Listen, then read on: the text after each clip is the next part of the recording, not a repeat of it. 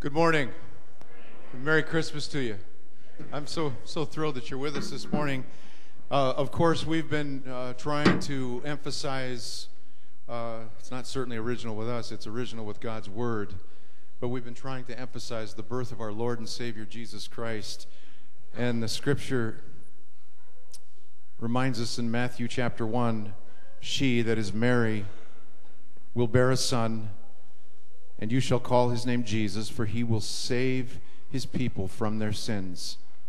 And all this took place to fulfill what the Lord had spoken by the prophet Behold, the virgin shall conceive and bear a son, and they shall call his name Emmanuel, which means God with us. We are so grateful for the incarnation of Jesus Christ. And for those of us that know him as Lord and Savior, we understand exactly what Emmanuel, God with us, means. We celebrate more than a babe in a manger.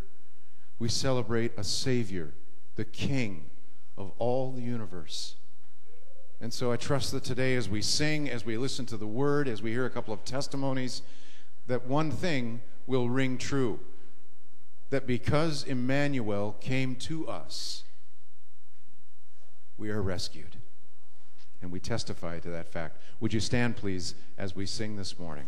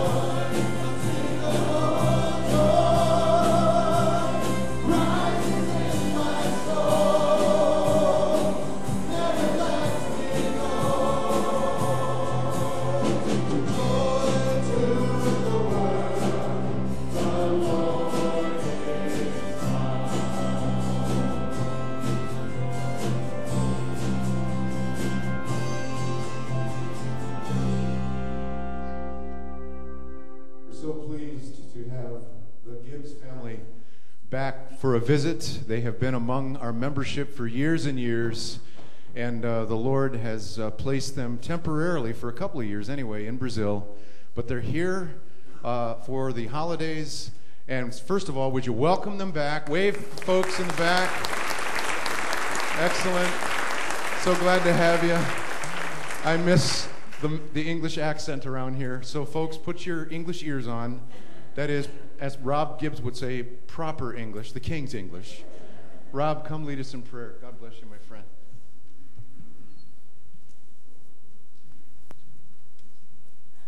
Please pray with me. Gracious Heavenly Father, we love you and we thank you for allowing us this time of worship. We invoke you to come into this place and to have your Holy Spirit fill our hearts with a burning passion to know you more. May we use this time to your glory, to honor you and give thanks for your continued blessings. It is a time that we are free to sing praises to your holy name, to be enlightened by the message of your word to us through expositional teaching of our pastor. Keep his and our minds free from distraction and moments of wandering so we can fully focus on you and your words of direction for our lives. Lord, may our worship of song be pleasing to you and sweet music to your ears. And corporately, we ask you all these things through your Son, Jesus Christ, our Lord and Savior. And in his name we pray. Amen. Take a moment and greet one another, won't you?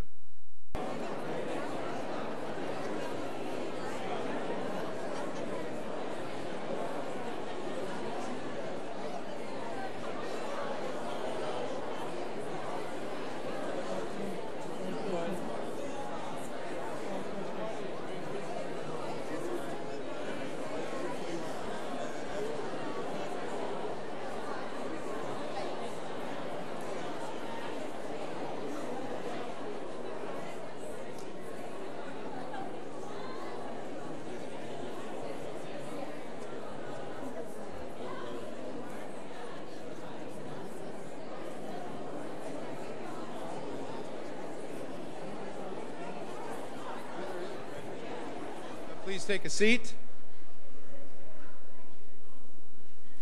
We have a couple of folks, uh, Raj Kotapaka and uh, Jenny Seacott, are going to come and quickly share their testimony of faith in the Lord Jesus, and then we're going to vote on their membership. So, Raj, wherever you, yes, you can come forward. Jenny, come on up. And Raj, since you're closer, we'll let you start right from here and share your testimony. Come on up, my friend.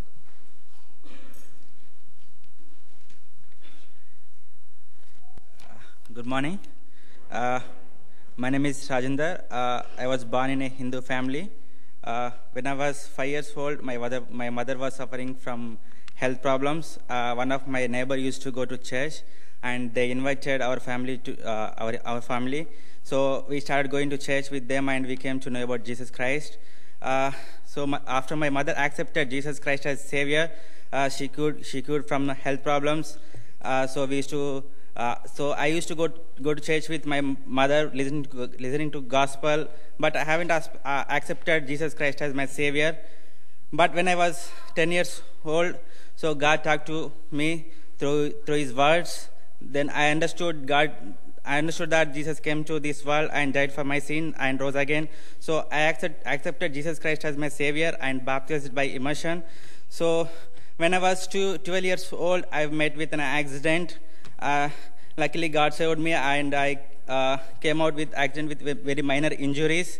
Uh, God helped me throughout my career, uh, studies, and uh, and studies, and uh, I got married in 2013. God helped me to come to US in 2014. So I came to know about Berean from my, one of my dear friend. it's a good, it's a good, it's a good place to grow in faith. Uh, please, uh, please pray, uh, please pray, please remember me and my family in your prayer. Thank you.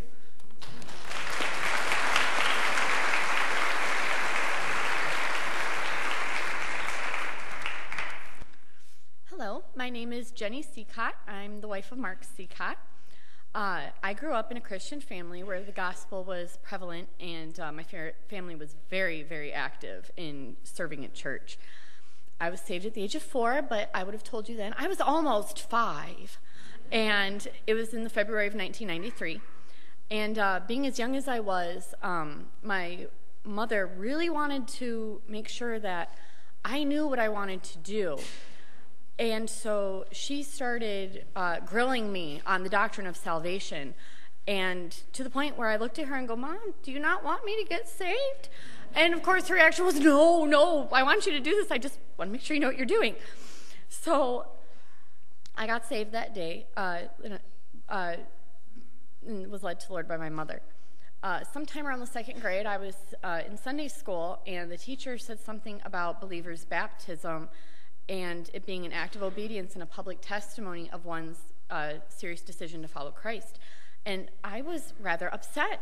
Nobody had said that to me prior that I was supposed to do this. So I marched up to my mother and I go, um, I want to get baptized.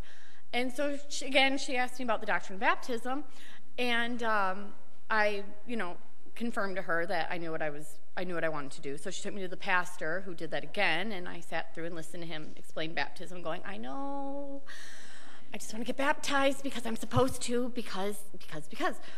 So eventually I, I, I, I, was baptized um, in, in the second grade. Uh, since then, um, I have seen a lot of growth in, in working away of things in my life. Uh, because I was so young, obviously there's no, you know, I was horrible, although I was the screaming two year old, but I, I was informed you all won't hold that against me because that was before I was saved. So, um, but uh, I've seen a lot of growth, and I've, I've had my share of, of struggles, and I've had my moments of being a downright Pharisee, and I, God's worked with me a lot on not putting up my list of, well, this is what I'm doing, and you're not doing those things, so you're not as good as me he's really worked with me on that. And I've had my moments of of wanting to take things out of his hand, but he's really worked with me on just trusting him to arrange the future and me just sitting there going, "Okay, Lord, you've got me in this place. This is what you want me to do, and that's what I'm going to do." And not worry about what's going to come because he's got it and I don't and I've learned to really trust him a lot more. I'm probably not there yet, but a lot more than I used to be with that kind of thing. And after 22 years, if any of you are sitting on the fence, I can confidently tell you that the Christian walk is totally worth it. And if I had to do it all again, I would because I don't regret one second.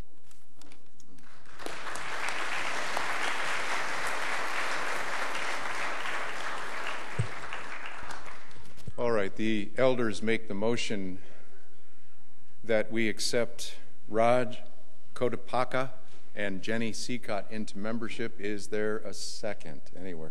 Uh, Mark Seacott. it's the first smart thing, second smart thing you've ever done. Okay. Thank you. All in favor say amen. Amen. amen. We're thrilled. Uh, uh think about this. You, in the space of four or five minutes, you've heard the proper English dialect, you've heard the Indian English dialect, then you heard what I call the best English dialect. Isn't that outstanding? I mean, isn't it amazing what God's church, who God's church is? That the gospel goes to the nations. And uh, we are so blessed to see that here. We don't deserve it. And we're so grateful for uh, the folks that the Lord has given us. After all, this is God's church, not ours. So we hope that we are good stewards, you and I, uh, of his ministry here. Our Heavenly Father, we thank you that you, has, you have sent to us a Savior. Help us to recognize that He is our Savior, and by that assurance, cease from our own struggles and lean upon the one that you have sent to deliver us.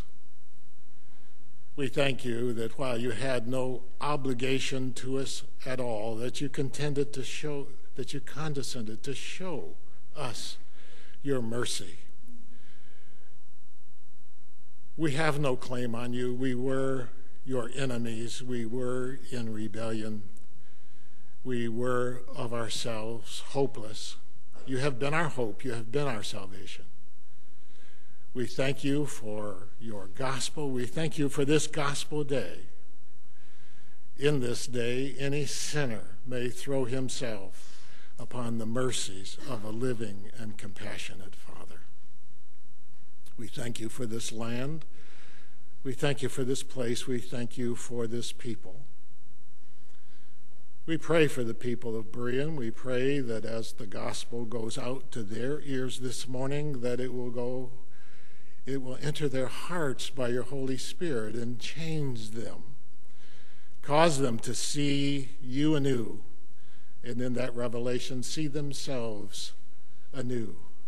And in that moment, realize how much, how very, very much they owe to you. We pray for the children of Berean Baptist Church. We pray that each of us would undertake anew to minister to them and shepherd to them and bring, assist you in bringing forth from them a new generation of those who will worship you and glorify your name. We pray for our preacher as he will come to us in this morning we know him and we thank you for the blessing that he is to this people. And we know the talents that you have given him, and we know the discipline that he enforces in his own life. So we know that he is prepared, but we pray that when he should come to us, he will come to us not in his own preparation, but he will come to us purely, wholly, and only seeking your glory, to efface himself and to exalt you through your precious word. We pray these things in Jesus' name. Amen. Of all the songs that I've written over the last 10 or 12 years, the one we're about to play was Mike Handel's favorite. Um, Mike was always such an encouraging encouragement to me in songwriting. Um, so I just wanted to mention that because I miss him, and uh, so I will play this song this morning to the honor and glory of God, but also to the loving memory of our friend and brother Mike Handel. Um, a few weeks ago, we began Advent, which is, uh, I mentioned then, a season of hopeful anticipation. Advent invited us to ask the questions who will rescue us, who will redeem us, who will save us. Now, Christmas invites us to rejoice in the answer God is in the manger. The great rescue mission has begun, and there is wonderful assurance and truth here. Unto us a child is born, a son is given, not deserved, not earned, but given. And he will save his people from their sins. He won't bow out, he won't try and then fail, he will do it. Do not be afraid. These are good tidings of great joy. Christmas is the beginning of it is finished. The first breath of God's last word of forgiveness and new life. All across the distant shores, from steps to heaven's doors, the dawn has come. Over all the plains In the heart and soul of human humankind, sickness from the dawn of time, the cure has come. From the heights of joy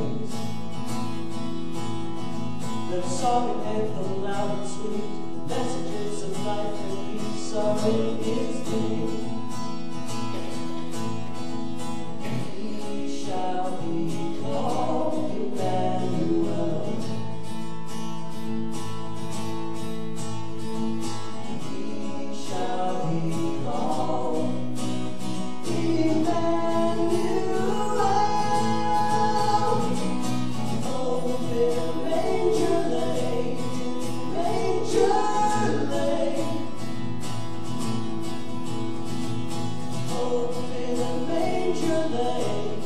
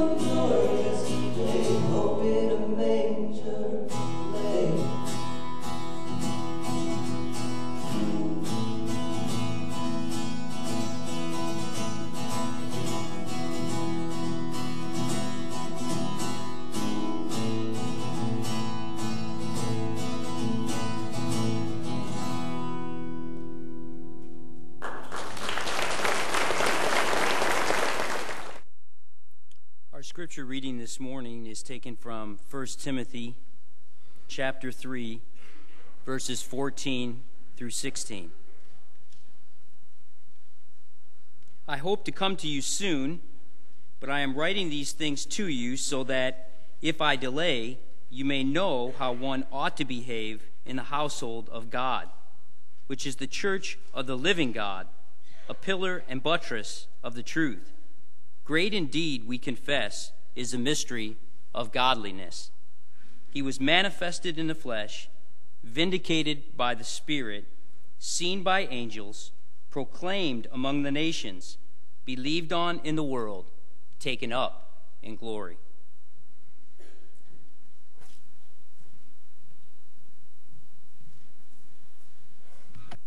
Well, I hope your Christmas has been a wonderful time when you have joined together with family and traditions and gathering together with the people of God as well during this season and focusing on that which is most essential in our experience during this time of year.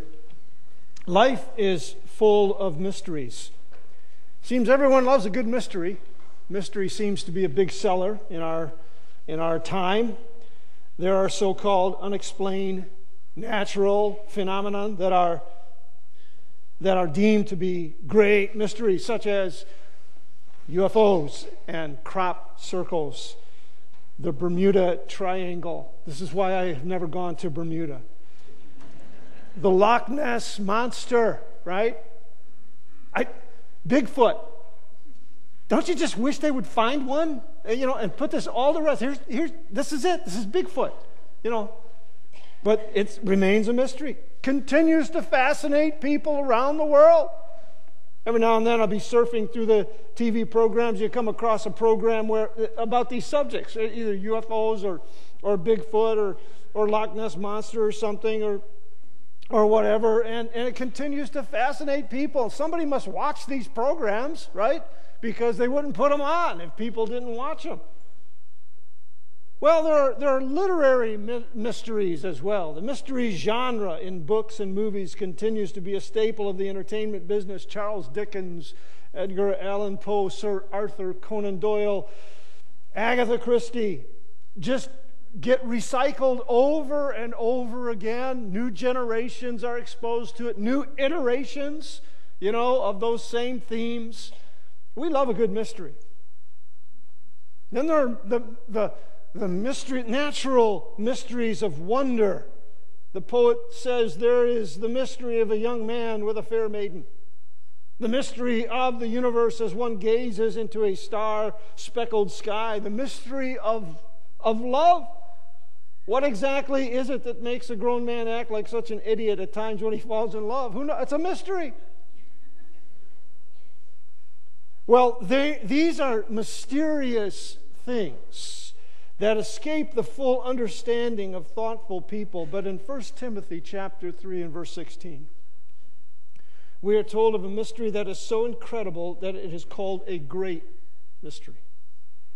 Paul writes, beyond all question, the mystery of godliness is great. The incredible statement made in verse 16, these statements are placed in the context of the book of 1 Timothy. Now, 1 Timothy is the first of three books or pastoral epistles in which Paul is instructing his young charges, Timothy and Titus, these young men in the ministry. His instructions are far ranging, touching the essential elements of church ministry. That is the larger context. Here, the immediate context is in verses 14 and 15, for Paul says, I hope to come to you soon, but I am writing these things to you so that if I delay, you may know how one ought to behave in the household of God, which is the church of the living God, a pillar and buttress of truth. Because the King James Version translated uh, this house of God instead of household of God, many generations thought that Paul was talking about how we ought to behave in church. That is, when we gather together in the church building, how should we behave in the church? Don't run in church. No speaking aloud. Uh, don't chew gum. Don't clip your nails during communion. That has happened, folks. Believe me, that has happened. Uh, uh, don't, you know, men, remove your hats. Uh, all, all kinds of church etiquette that has developed over the years. And sometimes people have thought, well, this is how, this is what Paul is talking about. He's talking about behaving oneself well in the church services or in the church, in, in the house of God. But Paul is not speaking of church etiquette. Paul means to instruct us in terms of what kind of lives we ought to live and how we are to go about ministry in the household of faith, the family of God. The infinitive here is translated behave. It is used of lifestyle or manner of life. In Ephesians chapter 2 and verse 3, Paul uses it of our former lifestyle, among whom we all once lived. We once lived in the passions of our flesh. Same word here. In 2 Corinthians 1:12 he writes, "Our conscience testifies that we have conducted ourselves, there's our, our word, conducted ourselves in the world and especially in our relations with you in the, whole, in the holiness and sincerity that are from God." So Paul says that the reason that he's writing these things is so that proper behavior, proper conduct, proper lifestyle as, as a member of the family of God might be defined. Now, we don't like that in America. We are independent Americans, and nobody tells us what to do. We don't like to submit ourselves to the authority of anyone else uh, especially to voluntarily submit our, uh, uh, you know, ourselves to the authority. Now, we may have to do that to the government. We may have to do that to the IRS. We might have to do that to the police officer in the street. But we do not voluntarily submit ourselves to anyone else's authority because we're independent Americans and nobody tells us how to live. And many people, many Christians today, or professing Christians today, say, my church doesn't tell me how to live. Let me say, without fear of contradiction from the Word of God, if your church isn't telling you how to live, you're in the wrong church. That's what the church is supposed to do. And Paul affirms that here in these verses. You see, if all your church is doing is, is how to find personal fulfillment, teaches you how to find personal fulfillment, or how to have you know loving relationships inside uh, the home, or how to have financial freedom, or the latest coping me- mechanism uh, uh, that given to us from psychology. That's the wrong church. It is the job of the local church to teach you what kind of lifestyle, what kind of conduct you should have as a member of the household of faith, the church. And the church is designed to keep you accountable to that lifestyle.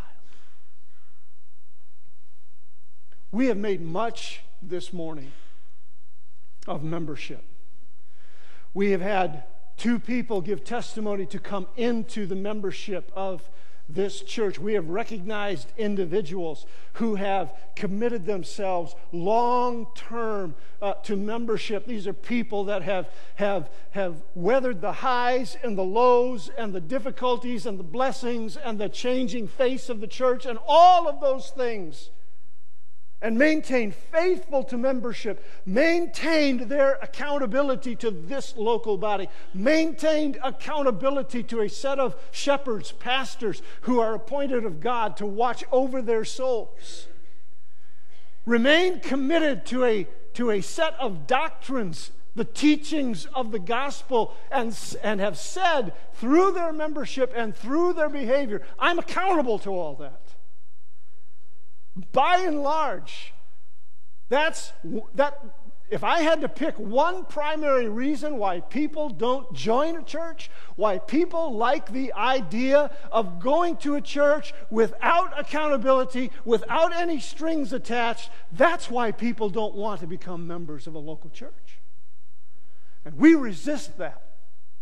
We fight against that. We teach and preach against that. We make no apology for the fact that if you're coming to Berean, we expect you to eventually, if you're a believer, to become a member. And if you can't become a member here, go somewhere where you can be a member. Go somewhere where you can be accountable because God never intended his people to be lone rangers accountable only to themselves. Or as they would say, it's just me and God. Right? Doesn't have anything to do with y'all. And that's a concept foreign to the scriptures. Now, two introductory points I would like to make here.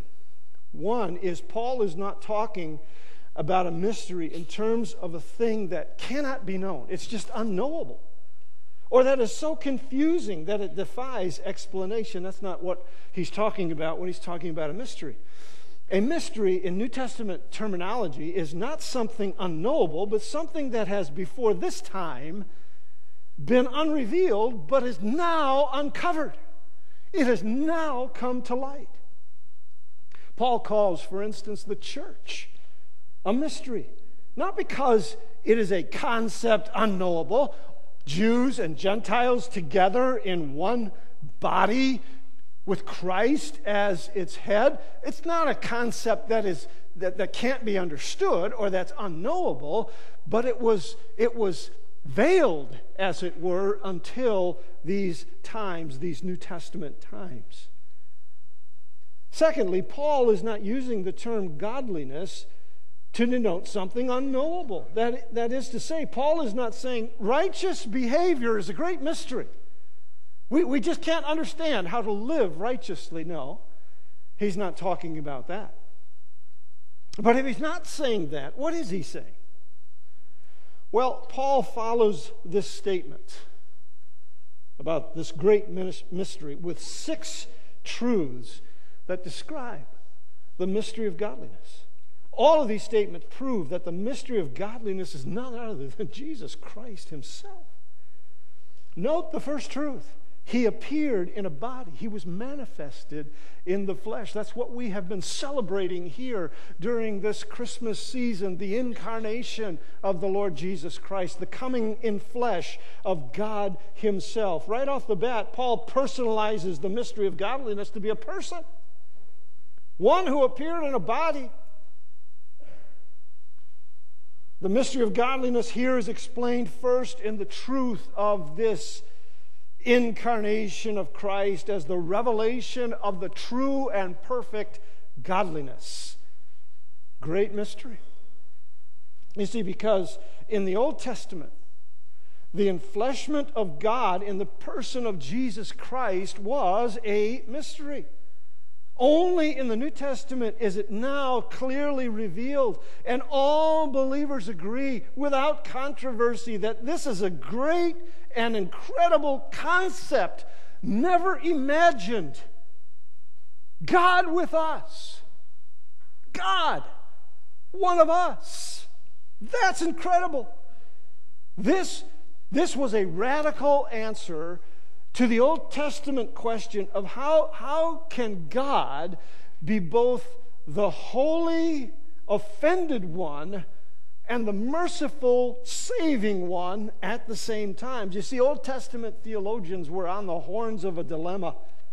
How would it be solved? How could God be holy and merciful at the same time? How, how could these two concepts come together? How could God be, as Paul would put it in Romans, both the just and the justifier at the same time? Well, God did it through a concept that was beyond the thinking of any human being before the time that he actually did it in the person of Jesus Christ. That's the incarnation, the God man. Now, this, this, this concept is second nature to us now. We, we've been taught it, we've, it's been drilled into us, we've seen it in Scripture, and it's not, it's not new to us now. But before Jesus Christ came in the incarnation, this, this, was, this was not even conceived of.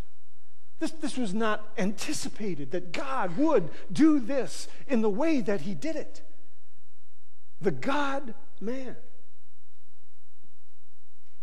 How would we truly know godliness if not for the incarnate Savior coming to exegete God, to explain God, to unfold who He is? So, the first aspect of the mystery of godliness is God manifested in the flesh. Now, remember, Paul is telling us about this, right? In context, he's telling us about this mystery of godliness for what reason? So that we would know how to conduct ourselves in the household of God. See? We are to be the incarnation of Christ in this world. We are to reflect the godliness that was Jesus Christ. We are living letters, Paul would tell us, known and read of all men we would represent Christ, we would be his ambassadors. This is how we are to live in the household of faith. How? As Christ lived in righteousness, in self sacrifice, in holiness, in service to others. Well, the second truth is this He was vindicated by the Spirit vindicated by the Spirit. The word vindicated here is a Greek word, dikaiou, which means justified or declared righteous. And the one doing this was the Spirit. Now it's interesting to know that the whole that the whole life that Jesus lived and all the people with whom he worked declared him to be righteous. 1 John 2 1, John calls him Jesus Christ the righteous. So John declared him righteous. Paul said, He made him who knew no sin to be sin for us, 2 Corinthians 5.21. So call, uh, Paul called him righteous. The writer to the Hebrews said he was without sin, Hebrews 4.15. And holy, undefiled, innocent, Hebrews 7 26, Jesus himself said with confidence, Who can convict me of sin? But even though all his co laborers and even he himself declared his righteousness, he wasn't vindicated until the Spirit declared him to be the righteous one. How and when did the Spirit do that? Well, Romans 1 4 tells us it was at the time of the resurrection. Paul tells us that Jesus was declared to be the Son of God with power by the resurrection from the dead according to the Spirit of holiness. That is when Jesus was vindicated. That is when he was declared righteous. The mystery of godless, godless, uh, godliness is not just that he was incarnated.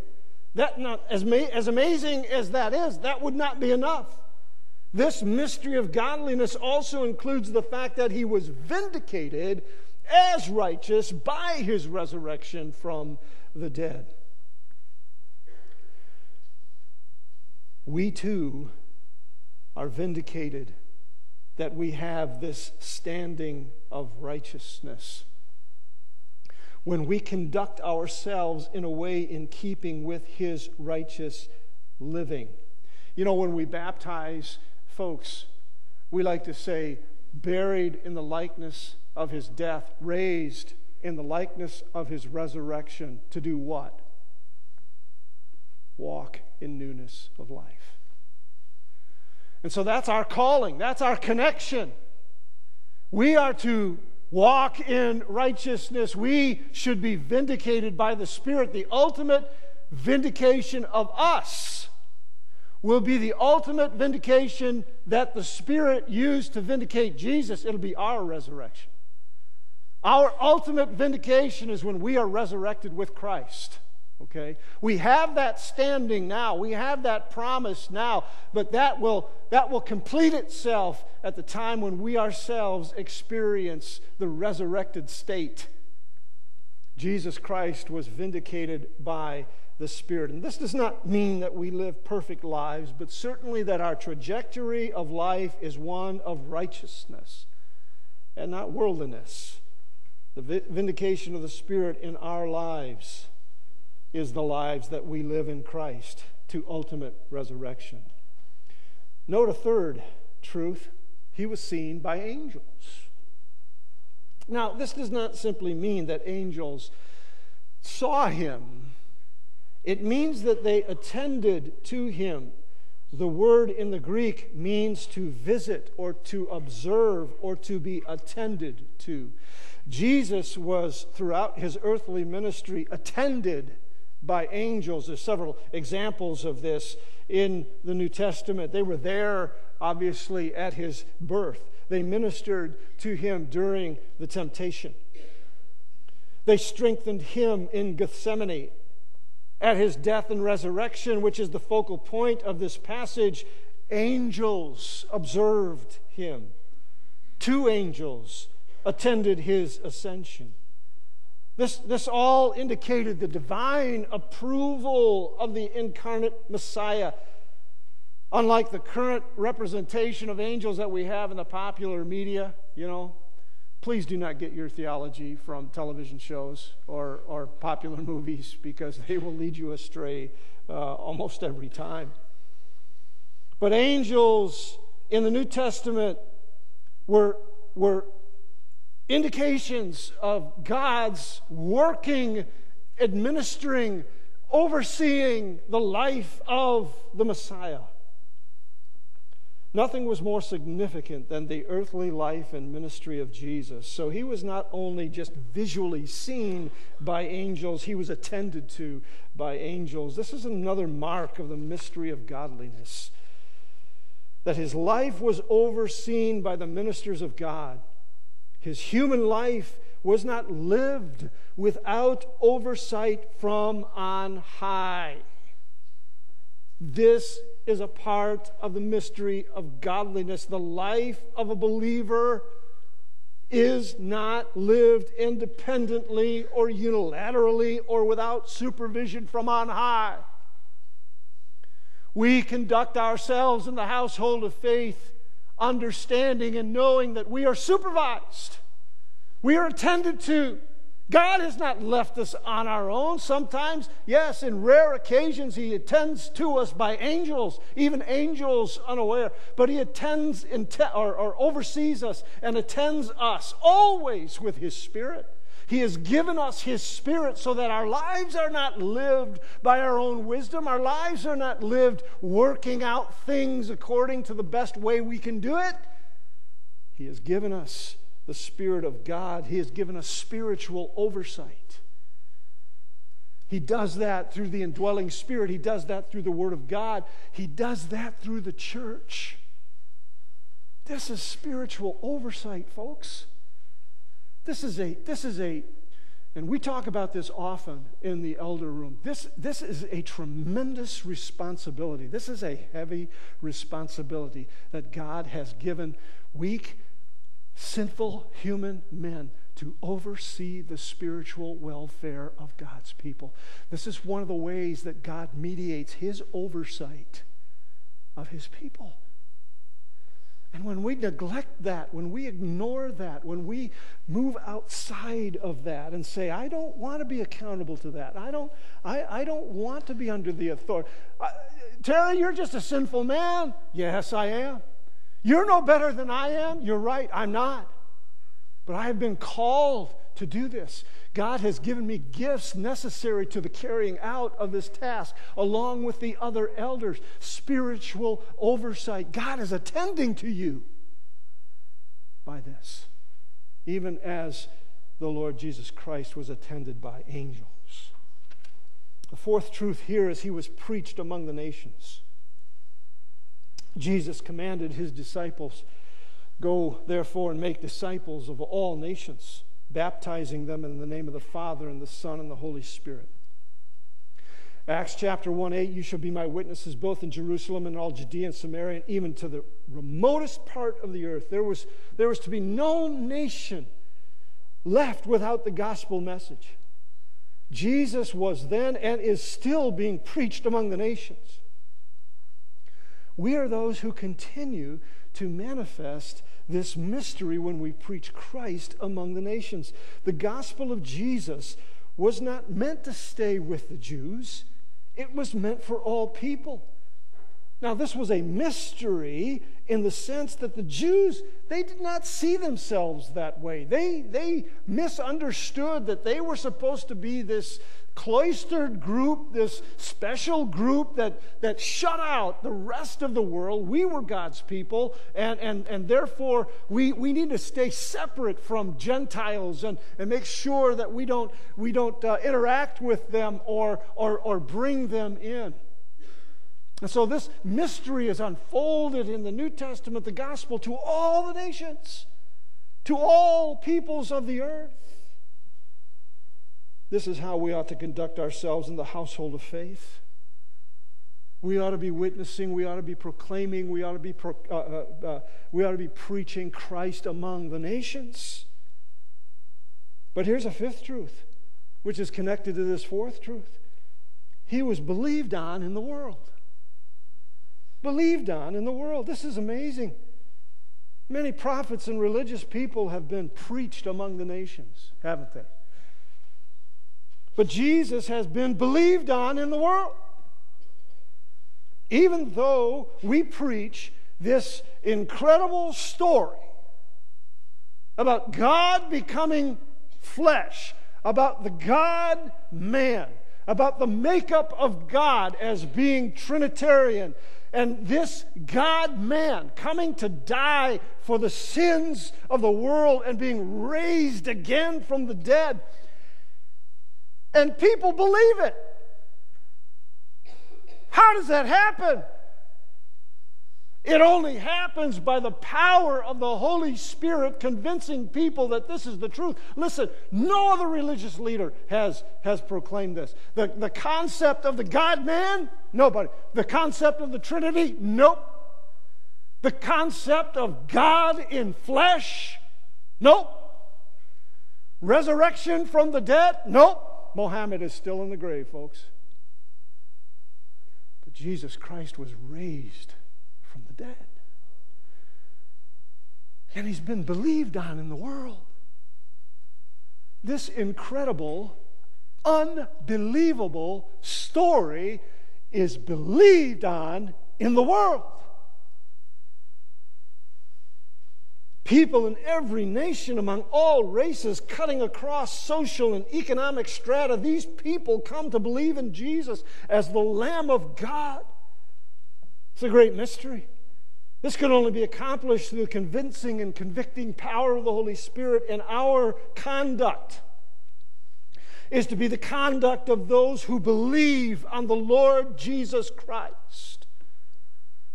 We cannot be just like everyone else because we believe on Jesus. We cannot live any way we want to live according to the dictates of our flesh because we have believed on Jesus. That's what it means to believe in Jesus, to be His, to be transformed, to be changed. We don't, we don't, we don't take on the philosophies of the world. We don't embrace the sinful lifestyles of the world. We are a separate and holy people to glorify his name in all the earth. Those that have believed on Jesus in this world are part of this mystery of godliness. And finally, there's a sixth truth. He was taken up in glory. The King James Version translates it this way taken up into glory. This, this led some to think that what is being spoken of here is the destination. Glory being a synonym for heaven. He was taken up into heaven. The correct translation is found in our ESV and several other modern translations, which says he was taken up in glory or in the process of glory. He wasn't taken to glory, he was taken up in glory. What this means is that the ascension of Jesus Christ was an act of great glorification of Christ. Acts 1 9 and 10 says, After he had said these things, he was lifted up while they were looking on, and a cloud received him out of their sight. As they were gazing intently into the sky while he was departing, behold, two men in white clothing stood beside them. And they also said, Men of Galilee, why do you stand looking into the sky? This Jesus who has been taken up from you into heaven will come in just the same way as you have watched him go into heaven. Hebrews 1 3 says, When he had made purification of sins, he sat down at the right hand of the majesty on high. You know, in Western Christianity, we, we do not make much of the ascension. I, I have to admit, we do not make much of, of the ascension. When I went to Russia in, I think it was 2004, uh, for the first time, we were working in Krasnodar at that time, and it was, it was in April. And I was, as their custom is there, if you're, if you're a visiting pastor, they, they ask you to preach. You don't know what you're going to preach on. Uh, they just say, okay, now you, you give the next message. They usually have three messages in a service. You give the next message. And so they came to me and they said, We want you to preach on the ascension. And I have to, I have to admit, I had never preached a message on the ascension. Now, I'd mentioned the ascension from time to time, of course, but I never preached on the, on the ascension. Well, in Russia, they have Ascension Day. And Ascension Day is like Christmas or Easter. It, it, it, it, it is, it's a big thing for them. And so, you know, providentially, as God would have it, I was actually there to teach the book of Acts. And I had all my message on the book, book of Acts. And so I, I got into Acts chapter 1 and I, and I, and I kind of, you know, uh, made, made a sermon out of that and, and, and preached uh, on the ascension. First time I ever preached on the ascension. But it was then that I began to realize that the ascension needs to play a much bigger part in our celebrations and our observances of what it means to be Christian. This was the moment of, of the glorification, the, the, the, the, the, the, the approval of God to the extent that God now takes him in great glory, in manifest glory, and now places him at the, at the throne of God, the right hand of the majesty on high. A great moment of glorification. What a mystery. What a mystery. That a human, Jesus Christ of Nazareth, is to receive all glory.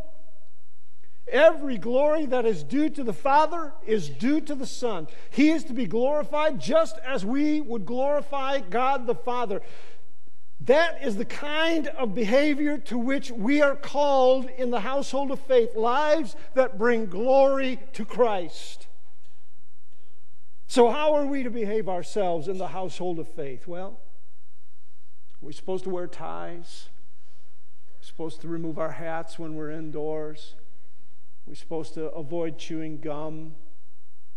How are we supposed to behave ourselves in the household of faith? We are to model our lives after the mystery of godliness, Jesus Christ. In six short statements, the gospel is clearly laid out. The mystery of godliness is that Christ was manifested in the flesh through Jesus Christ. Jesus was vindicated in the spirit through the resurrection. He was attended to through his whole life by angels. He was preached among the nations with the result that many believed, and how ultimately he was glorified in being received up into heaven, signifying God's acceptance of him and his work. Folks, this is our charter. This is our outline. This mystery of godliness, Jesus Christ, gives us the cue of how we are to behave ourselves in the household of faith into which we have been spiritually born. We do not have the prerogative to live any way we choose. We live and serve at the pleasure of the King. There was a program on years ago called, not so many years ago, but 10 years ago maybe, called The West Wing. And that was a recurring theme in that, uh, in that TV show when his subordinates would say to him, I serve at the pleasure of the president. Well, I tell you something that is more significant than that. You serve at the pleasure of the King of Kings and the Lord of Lords, not some mere president, but the King of Kings. This time of year is a fitting time to recommit ourselves to that ethic, to that lifestyle, to that pursuit of godliness to which we are called. Please stand for this benediction, if you will. Great indeed, we confess, is the mystery of godliness. He was manifested in the flesh, vindicated by the Spirit, seen by angels, proclaimed among the nations, believed on in the world, taken up into glory. Father God, send us forth this new year to manifest the mystery of godliness found in Jesus Christ, our Lord and Savior now unto him who is able to do far more abundantly than all that we ask or think, according to the power at work within us, to him be glory in the church and in Christ Jesus throughout all generations, forever and ever. Amen and amen. Let's have a great new year. Oh, Raj and Jenny, would you come? We want to welcome you into our membership here.